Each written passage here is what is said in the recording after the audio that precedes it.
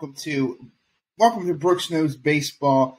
30 breakdowns in 30 days. Today we are heading up to the rain, moist, wet ground at soaked Seattle, Washington to cover the Seattle Mariners, a team who really broke through last year finally after not breaking through for the last 20 Is years. the field wet?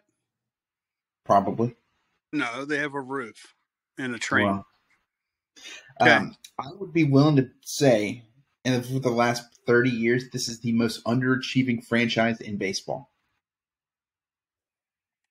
Would you agree? No. So you think a team that wins 116 games and loses in the ALs doesn't gets beat handedly is not a letdown? They're coming. Yeah, well, they've been okay. So let's go over the playoff run. So in 2022, they lost in the ALDS, got swept. Bye. Bye. Uh, I'm assuming was it Houston? It's my guess. I don't know off the top of my head, and my computer's too slow to try it right now. So, um, after Houston, or after that series, I mean, you have to go back to 2001. Well, last time they made the playoffs, so over 20 years, um, and bef- they they've never won a World Series. They've only made the playoffs five times since 1977. So, yeah, very underachieving organization out in Seattle. Um, but they do have some great players such as Ken Griffey, Chiro, King Felix, Randy Johnson, um, Aroyd, and you know, Aaron some Boone. good- yeah, Aaron Boone. Bret Boone. Bret Boone. Bret Boone. Yeah, you can't forget Harold Reynolds and Mitch Haniger. Love. Aaron Reynolds. But yeah, so that is the Seattle Mariners. They again they, they made the playoffs last year, finishing 90 wins and 72 losses. Um, and they that was the exact same record the year before. So two years winning records in a row. Finally breakthrough form. But without further ado, John, I'll let you take this one away because I'm sure you got a man crush on uh, Julio Rodriguez. He's good, but no. Uh, is he Tim Anderson good? Oh, come on now. There's not many like that. Um, did you mention when you mentioned their past players real quick? Did you mention the hit machine, Edgar Martinez? No, I didn't. Okay, you got to mention him. You mentioned Seattle. And I didn't mention Kyle Seager either. Sorry. Uh, it's consistent. Let's say that. Uh, anyway, acquisitions. They got Teoscar Hernandez, outfielder from Toronto. Kolten Wong, who's basically claimed to fame as one playoff series. Um, Cooper Hummel, catcher, outfielder. Hell, I don't know if he'll make the team. Uh, pitcher, relief pitcher, right-hander Trevor Gott. I say go right into the rotation. Uh, good rotation. What do you think? Well, um, yeah, it's not bad. They got Luis Castillo, Logan Gilbert, uh, Robbie Ray, who's, solid always, George Kirby, and then Marco Gonzalez. Marco Gonzalez may not win that spot. Chris Flexen may take her, but Marco Gonzalez is fading fast. Um, he doesn't throw hard anymore. His pitches don't work. He's not too good anymore. But when you get Castillo, you know, you got him from what Cincinnati, twenty five starts, two nine nine ERA. Whip was one oh eight. Four seam fastball that moves. He's durable. Gilbert, he's one of the best young pitchers in baseball. I mean, he's made a buttload of starts in two years. Pitched a lot of innings, man. Uh, had a what thirteen and six record last year, three two ERA. Uh, yeah, 32 starts, 118 whip, fastball, change, sinker guy. Pitched a lot of innings. Uh, there, you know, I was that may be a concern. You know, sometime they baby pitchers so much today. You know, the guy probably has thrown 350 innings in two years, and I'm seeing, oh, they might have to watch him. Really? Hell, Jim Palmer threw that in a year. Uh, Robbie Ray, he's up and down his whole career. I believe he started with the Nationals as a draft pick way back when. Uh, 12 and 12, 371 ERA. You know, he did start the Nationals. Yeah, 12th round Yeah. pick.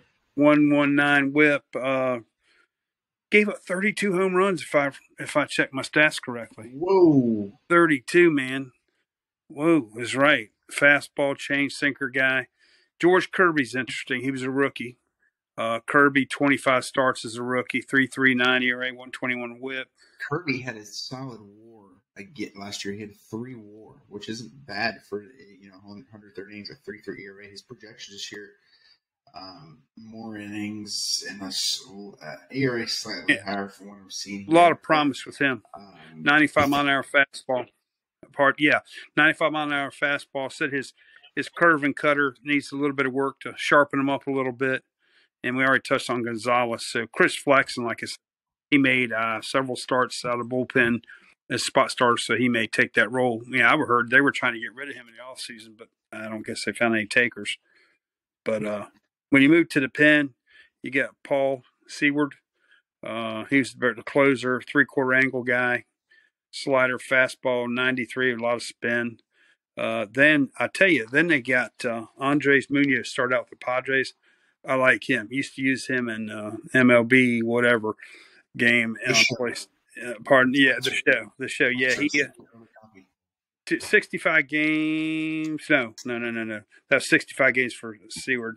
Um, uh, Munoz, 100 mile an hour fastball. Got a heck of a slider. So I guess basically that's what he relies on. Big strikeout guy. Uh, 249 ERA, 0.89 whip. He brings the heat, man. Yeah. I think he's Mexican. Is he on the Mexican roster? I don't know. Uh, then they got Matt Brash, a spot starter relief pitcher. His numbers were nothing spectacular. One and a half plus whip. Uh, Diego Castillo, slider fastball guy, 59 games, 364 ERA, 114 whip. Uh, Penn, Penn, Murph, uh, Penn Murfee. Now, he was interesting. He's like a 28 year old rookie, I guess, last year. Put uh-huh. up great number 64 games, below three ERA, 0.95 whip as a rookie. Sidearm, slider, really tough on right-handers. He he I've seen him numerous times. He he looked pretty good. Any anything else you like to add about the bullpen? No, I think you got it. Now you know we should go ahead and jump right on into this. Well, I know you were talking bad about Cal Raleigh, but I, I got some things to say about him. So you tell me what you think about him. I think a guy who strikes out thirty percent of the time is not a good player. Well, he's a Cullowhee, North Carolina resident. That's good, native. But what the hell does that have to do with him being a good or bad baseball player? Because I'm partial to Western Carolina baseball players. Um, 27 homers and only 370 at bats. That's worth something, isn't it? So he's uh, boom or bust. He threw out 32% of the runners. Yeah, he strikes out, low OB, OBP, good defensively, man. Got to have a good catcher back there. So a guy who hits 211 has a, over four wars. Pretty impressive. Think about it. Yeah, and, and 327 at bats. So 370 at bats. But he, he kind of got better as he went along. As bad as his yeah. average was, it was a lot worse. And it came up, and he's got some power. Um, so I, I don't think he's going to be a problem because of his defense and everything. And then, I mean, hell, if he plays more than that, he's going to have 40 home runs, you know, if he plays behind there every day or close to it. And then, yeah, uh, and then move, moving on, we got Ty France at first base, who played 140 games last year. Made the um, All Star team he's a hitter. You know, 291 his rookie year, then two, or uh, no, not his rookie year, sorry. Uh, he had three, 291, 274 last three years. 20 um, homers, 83 RBIs. He's a pop. He strikes out 50% of the time. Um, his WAR is only 2.4 last year defensively. I'm not seeing him being a very good defender, though. No, and then, but you go to Kolten Wong at second. Uh, I'm thinking the shifts, the shift ban is going to hurt him defensively. Um, to get offensive production out him, at least moderate offensive production, I'd say. Very moderate. Yeah, 17 steals. 50 guy, you know, you know. He's got good discipline. he's a liability. No, but he's old. He's 32 now, so that's usually that first. Yeah. So, um, you know, we'll see. It, defensively, I, from what I've seen, had a fall off last year. Yeah, uh, yeah, big fall off. I've seen negative six on defense. Negative six is not good. No, no. Which is yeah. Well, so he, moving on, we got a shortstop. I'm seeing J.P. Crawford. Yeah, um, J.P. Crawford's kind of up and down. Supposed to be a big player with the Phillies. They got rid of him, but I think they're going to keep him there you know, at short. So, but did you he, say? I mean, he's a he had two forty last year. Year before that, um, you know, two seventy three. Before that, he never really played a full season. Um, he doesn't strike out much. That's that's a positive. His rookie year, striking out 25% of the time, and he's brought that all the way down to 13. So there's a massive improvement there. Um, I wouldn't be surprised for him. You know, he's 28, should be in his prime as well. No power. He's not going to hit more than probably nine or 10 home runs at most. Um, but um, he, I, I think he's serviceable. He's above. I, I, would say he's probably above average. Right. Right. Moving uh, on to third base. Sorry, cut you off there. No, that's all Eugenio, right. Swear Eugenio, yeah. Yeah. Well, I think you're telling me some prediction you read had him going worse. He actually improved last year. 31 homers, 236, which is not like his Cincinnati days. 87 RBIs. He's he's obviously productive. You got 87 RBIs, 791 OPS. He's solid defender. What was his WAR last year? Do you got that? Four. There you go. Um, but he, he has top, and I, you know, that's that's that's good. But it, and how his, many guys? How many guys? Value, I think, is. I mean, from what it was in 2019 when he hit 271 with 49 home runs to now, he's not the same guy. No, you know, no. he's 31, so he's on the wrong side of 30. I think that's going to hurt him. Um, if you go back, yeah, he raised his batting average last year with 38 points hey, to 236, so he was under 200 the year before that, which is just. Do you uh, think if he would dye his hair one color instead of half black and half blonde, on one side black, one side blonde. Never seen that before. Do you think he might be more consistent? Seattle, you got to look fruity. Mm, okay, yeah, I know people have been there a lot. Um, going to outfield, starting at center field. what can you say? I'll let you handle that one. Julio Rodriguez, the Superman. reigning, yeah, reigning rookie of the year, had a very, very good debut season last five, year. five tool player, man. Absolutely. He's 284, 28 home runs, 132 games. But would like to see that come up, but he was a rookie 25 last year. Steals. Yeah, I had over five WAR, slugged at 509, 345 on base percent. Um, and but, he can run, run, run, run, run, which is great. And he's young. He's very He's 21 years old. Um, he his strikeout rate. What do you think it was? Not too bad. 20. No, it is bad. It's 26 percent. Well, big big boy hits like that. He'll and he's young. That'll if he strikes out twenty six percent, he's still hitting two eighty four. That's I mean, uh, he played uh, what in A ball when he was he played seventeen games in twenty nineteen. He hit four sixty two. Yeah. So um, you know he's he's a stud. He's going to. I don't think the strikeouts are really going to drop too much, but I do think his average will probably be in the two eighties once again. I do think his power is going to increase as he gets a little older, more mature. It's his um, man strength. And he I, should have 30 around. 30 he'll, he'll probably cut down on strikeouts too. Usually, when they get up there, they're going to, and you're sure. Well, last three years is 20, 20 roughly about, I'm just going to round up here 22%, 18%, and 26%. And then in A ball is 22%. He, he strikes out. I mean, I think that might hurt. That, that could hurt his average too, though. Yeah. Well, he strikes out. You can't just rely on.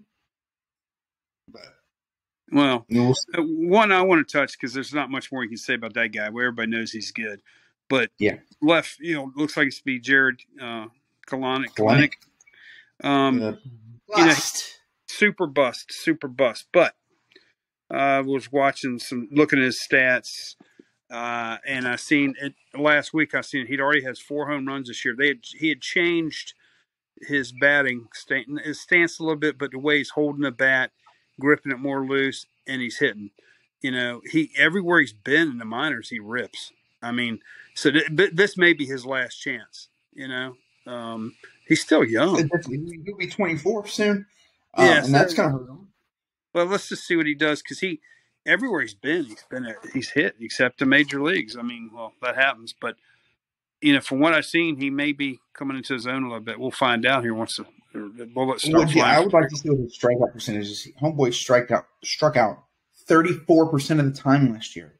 Yeah, he looks lost so far. I mean, this spring he doesn't, but previous he forty one. Man, that's rare to see a, a grade A prospect like that just completely be. I mean, he hits good in AAA, but he gets to the majors and he's just damn boom nothing. I mean, he's damn near nothing. Who did they trade for him? Uh, that was it Cano? Was, that, was it Cano? Diaz yeah. and, and Cano maybe. It was uh, Mets. yeah he went. with the Mets. I know it's Edwin Diaz. I'm pretty sure. But anyway, Well, I think I know who won that trade. yeah, right field looks like it's going to be Teoscar Hernandez. He's a productive player. Uh, 25 homers, 77 RBIs, 267 hitter, uh, strong arm, power bat. You know, um, where to get him? Toronto. Uh, so let's see. Trade with Toronto this offseason. Right, right, right, right, right. And then I guess DH. I don't see anything at DH for them because I'm looking at one thing. Oh shucks, yeah, I looked at him and forgot about that. Yeah, he'll probably if and he's old as dirt.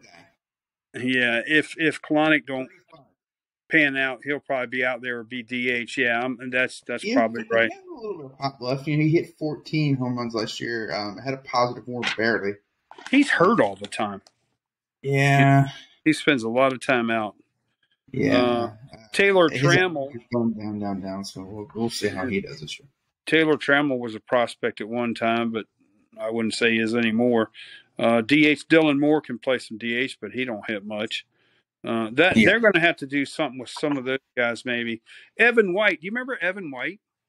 Was a big Mhm. big prospect for them, first base. He had before he even made it, they gave him this big contract and extended him. He's been pretty much hurt ever since. Um, you know, That- that's kind- man. that's kind of like the Phillies. The Phillies with that guy, the infielder. Uh, I can't think of his name right now, but anyway, um, they got well, shucks. Someone probably knows what I'm talking about. I have to look it up. But the Phillies did the same thing. The guy's never been anything. Played pretty much the whole year at AAA last year. You know, but the, well, that's another story about how the Phillies handled him anyway. But yeah, about that team, I think if their hitting comes around, if Kelenic, I mean, some ifs there, you know, um, they're going to be in the race. I think. I don't think they'll win it. But- Wild card again, maybe. But there's only so many teams that make the wild card. Maybe. Um, I think. All right. So, is there anything else before we move on to the prospects you, you want to say about the uh, the, the Mariners? No, I think that's pretty much it. Um, I think their general manager obviously does a decent job because they have a lot of young talent in there. Um, but yeah, you can get to the prospects now. Yeah. So from what I'm seeing, the prospect system is not ranked very well. Ooh, how about There's- Harry Ford? I saw him on TV last night with uh, t- you know, Team Great Britain. The catcher, Yeah.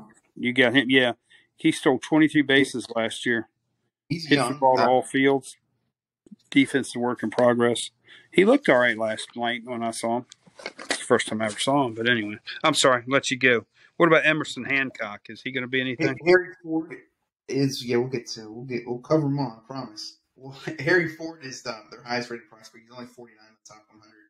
Um, he's 20 years old, an eight ball guy. He's he's little for a catcher. He's only 5'11, just barely 200 pounds, which is I think undersized for a catcher. Um, and then you have Bryce Miller, who's 24 years old in Double A. So take that as you uh, as you will. Um, but that's the only two guys they have in the top 100. So they don't have many guys in the top 100. Yeah, so Um, Hancock's kind of drifting towards waste, right? What, uh, what was he in 20 draft pick? So Emerson Hancock, he's still in Double A. He's only 23. Um, he was drafted first overall, or first round, Round. excuse me, first overall, um, six overall in 2020. Yeah, see, you know, it's three years later, he was a college pitcher. You know, Double A, he, he's put up good stats in They said it's- 33 games. He he doesn't pitch much, but in 33 games in the minors, he's a 3.4 ERA. So it's Mhm. not like it's, he's not performing. He needs to be higher in double A. I mean, his age, and he's got, what, 20, probably didn't pitch, 21, 22. So this year, he's been in triple A. And He'll be 24 years old in May. yeah, he needs, it's time, you know, I mean, that's still a young man, but still, come on, you know, what, wait till Their- their prospect system is young, so that could come up if these players actually develop into you know some good players. Like I'm seeing a foreign-born guy here. His name is Felnin Celest- Celestin. Celestine. Celestine. Yep, 17 years old. Is he related to the one Celestine on the Twins? No, it's not the same name at all. Celestino, not Mhm. Celestine. Okay, well, you know, But hey, them guys from Dominican places, sometime they're the same name as their brother. Who knows? They could be related anyway. he might be 26 years old. Who knows? That's true. Very true. Yeah. I think did uh, I think their Sorry. manager, their manager. Oh, are you done with prospects? Yeah, there's there's not that much there for them, so we'll see how that happens. If their young guys develop, it could you know they could definitely climb the rankings next year, be top half team. If their prospects develop like I'm assuming they hope they will. Right. I think yeah, and Scott Servais, I think he's doing a good job, solid job, um, developing those young pitchers. You know, like Gilbert and uh, oh, hold on, gotta look at my notes. I forgot his name that quick. The other young pitcher, George Kirby. You know, getting a lot out of those young guys. They're big prospects, though. So, I mean, Yeah, but moving on to our record predictions. So I see them regressing, and the main reason I see them regressing is because of the emergence of the Texas Rangers. I think the Texas Rangers have retooled that their pitching staff with the hitting that they have. I think they're going to be a much, much better team than they were Let me last ask you. let me ask you this: Why do you think that's going to hurt Seattle? Because they play a balanced schedule. Well, because they still played them last year, and they're going to play them. They're still going to play them a lot. No, no just- balanced schedule, no more than anybody else. Well, I just don't think the wins they got last year against them. They're still going to play them. The ones they got against them last year, they're not going to get Well, when you go when you go head to head, I mean Castillo can hang with anybody Texas has got, and Gilbert. Can. So I mean when they yeah when they play those games could go either way. It's not like oh Degrom's facing Castillo. It's over. Castillo's a good pitcher, man. I just think Texas overall is a better team, better manager. And you know what else? Castillo, he's durable. He makes his starts every year. If you look back, you know, We'll see, but we're Right. doing Texas tomorrow, so you can see what I predict them to do. But I do predict the Mariners to finish around 500 this year. excuse me. I disagree. I think a little more, but hey, that's why we're here, We right? disagree, but just know you're wrong. Okie dokie. All right. Um, well, yeah, um, let's not take up any more time. This this has been uh, 30 breakdowns of 30 days with Brooks Knows Baseball staff. Like it, share it, comment on us. Uh, let us know what you think. Um, let us know. We are finishing up with the Texas Rangers tomorrow, the American League, and we're going to start on the National League. East is going to be the first team. And who's the first team? Is it Miami? No, Atlanta. That'll be fun. Yeah. my, one of Oh, my I'm favorite, excited one of my favorite teams for years and years and years. But John, let's you to sign up and get him out of here. All right, that's all for now, folks. We'll see you next time on Brooks Knows Baseball. Good night. Good night, John Boy.